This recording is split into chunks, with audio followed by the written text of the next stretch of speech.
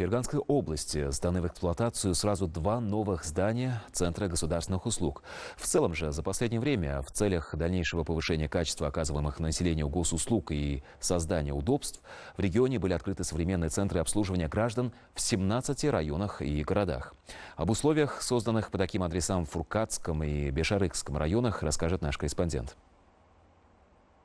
Следует отметить, что в обоих районах прежнее состояние центров госуслуг не соответствовало современным требованиям. С целью предоставления клиентам качественного сервиса новые адреса обрели комфортный вид и спектр оказываемых услуг был значительно расширен. Церемония открытия центра стала настоящим праздником для жителей Бешарыкского района. Введенный в эксплуатацию новый объект приспособлен к обслуживанию более 500 граждан в сутки. Просторные и светлые залы, уголок для детей, комната инвесторов оборудованы по последнему последнему слову техники. Также имеется уголок бесплатных юридических консультаций, зал ожидания, медицинский пункт, электронный аукцион и средства самообслуживания.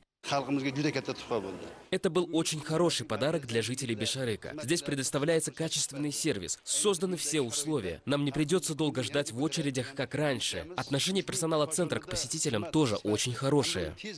Радости жителей Фуркатского района, где был открыт еще один современный центр госуслуг, также нет предела, потому что раньше таких условий здесь не было.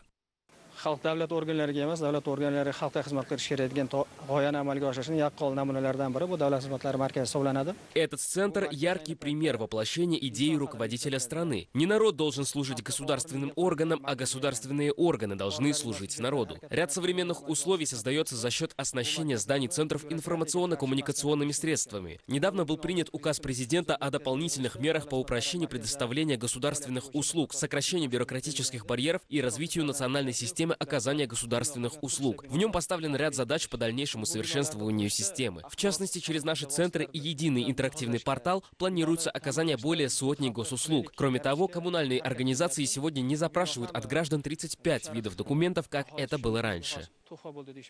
В Фуркатском районе проживает более 150 тысяч человек. Насчитывается порядка 2000 хозяйствующих субъектов. И спрос на госуслуги высок. В новом центре созданы все условия, чтобы время ожидания запроса граждан было минимальным.